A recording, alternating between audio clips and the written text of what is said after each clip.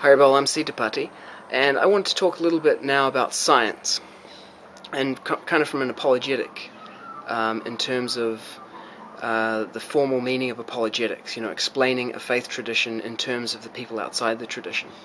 I want to look at science a little bit. Science is basically a form of Sankhya. It's a form of analyzing the material world and dividing up the different elements there. And uh, science works, you know. Uh, as evidenced by the fact that you're watching this right now. You know, it's by science that we have a thing like a, a digital video camera, um, you know, a, a memory card, uh, a computer, the internet, screens, LCDs. These are all products of science and technology, and that Sankhya of dividing the world up in that way. So yeah, science works as far as it goes. Uh, it's not. I don't think it's really valid to say that science doesn't work because it obviously does, clearly. Uh, but at the same time, science is limited in what it deals with. It's, it deals with the physical elements of the universe. And there's more at work in the universe than simply the physical elements because there's also consciousness, conscious experience, and life, which are things that the material science can't deal with it doesn't have any, you know, it really doesn't have anything to say about those things. It's outside its purview, and that's more of a metaphysical area, and that's where Krishna consciousness comes in. That's the strength of Krishna, the contribution of Krishna consciousness is in the area of consciousness, the area of meaning to things. Meaning means why. So Krishna consciousness metaphysics can answer the question of why, whereas science addresses the question of how. So science can explain how the planets are, to a certain degree, how the planets are orbiting the Earth or the, or the Sun, how the planets are orbiting the Sun, and so based on that, how they can make predictions of things like solar eclipses and um, you know precession of the stars, and, and they can check those observations and see that they're valid and that they actually work. There's something for you to eat down there.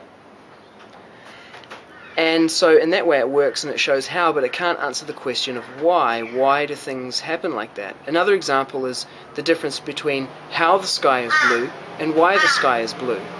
We can answer the question with science of how the sky is blue by talking about refraction of light and, you know, how the, the light rays hit the, um, the different the refractive index of the different mediums that they travel through and how that changes the light to blue, but it doesn't answer the question of why. So metaphysics answers the questions of why, which are very important questions for human beings because we're conscious living beings and significance and meaning are very central to our lives. So both of them are there and they both have some validity. I think a, an, an analog between modern science and something that we find in the Vedic context is the Vedic Sankhya of Kapila Dev. And there are actually two Vedic Sankhyas of Kapila Dev. There's the one which is called that of Kapila the atheist, and then there's the other which is called that of Kapila Devahuti Putra, the son of Devahuti.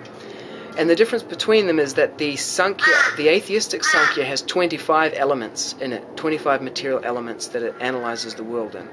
And by analyzing the world in terms of different elements, you can make predictions, you can make inferences, you can do things based on that. Um, so, just like the atheistic Sankhya of Kapila, the atheist, we have modern science which analyzes the world in purely physical elements, and you can make predictions, you can make technologies and things, you know, genetic engineering, electronics, all these things are based on this Sankhya, this analysis. And then there's the Sankhya of Kapila Dev, son of Devahuti, which has the same 25 elements, and it also has the 26th element, the soul and sometimes it is said the 27th element, the supersoul. So, in the same way, I think we could find a, a, harmony between science and the metaphysics of Krishna consciousness in terms of understanding science as a Sankhya of the universe, and that there is an atheistic science, and there's a theistic science, which also includes knowledge of the soul and the supersoul. And that's where I think our great contribution to the modern civilization and society lies, is in building that uh, harmonious system which takes that Sankhya and makes it theistic. And I've spoken on this, I've written articles about it, that sci- atheistic science actually arises as a reaction against religious fundamentalism, where people try to use religion as a means of controlling society, and then science is utilized as a philosophy to break that control of uh, religion over society. So when religious institutions react by trying to make science out to be something evil or incorrect, then the natural response of people, you know, people who don't want to fall under that oppressive regime is that they make science more atheistic and they argue strongly against the metaphysic because the, the, the adherents of a metaphysical system are now trying to say that you know the Sankhya is invalid or it's evil or something like that.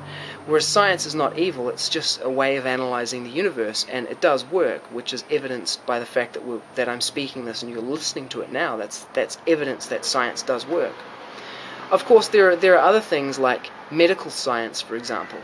The problem with with modern medicine is not so much science, but more that modern medicine is a mixture of economics and science, and it's that economic influence which mutates the, the scientific method. If you read that book, Forbidden Archaeology, by Michael Cremo and Richard Thompson, the actual accusation that they're making against archaeology is one that basically that it's not following the scientific, the formal scientific method. And in medical science, they don't follow the formal scientific method. They'll, they will discard observations that they should have included uh, on the basis of economic interest because the medical industry is not run by scientists, it's run by businesses. So when science comes under the employ of, of business, then it becomes perverted. And also, in the case of archaeology, the argument that Cremo, uh, Drutakarma, and Sadaputa make is that uh, basically there it's being influenced by people's egos being involved in it. But you know, religious institutions also become um, distorted by people's egos. Just the other day, I saw one magazine in the city, a socialist magazine, and it said capitalism is the cause of this disaster, talking about the recent global financial crisis. So we could say that in a sense, but then we have to ask the question what's the cause of capitalism? So, really, what it comes back to is it comes back to the personal character of the people who are operating the system, whether it's a religious system or a scientific system. The personal character of those people will influence how that system is utilized.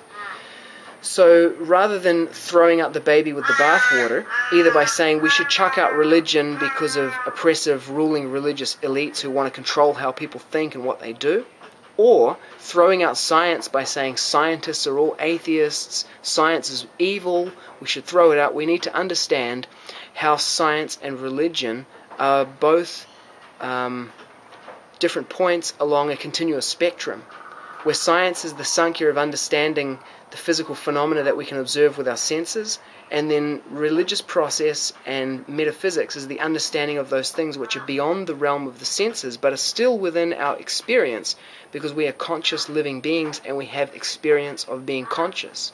We have experience of the world. Uh, which is something that we can't analyze with the senses. You know, in the Bhagavatam and in the Bhagavad Gita, it says, higher than dull matter are the senses, higher than the senses is the mind, higher than the mind is the intelligence, higher than the intelligence is the soul, beyond the soul is the supersoul.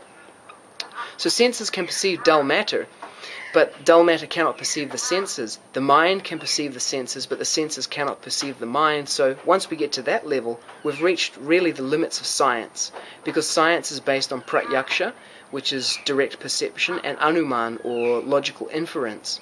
And then beyond that, to the level of the soul and the supersoul, we need another process to take us to that level, and that's the level where meaning comes into life.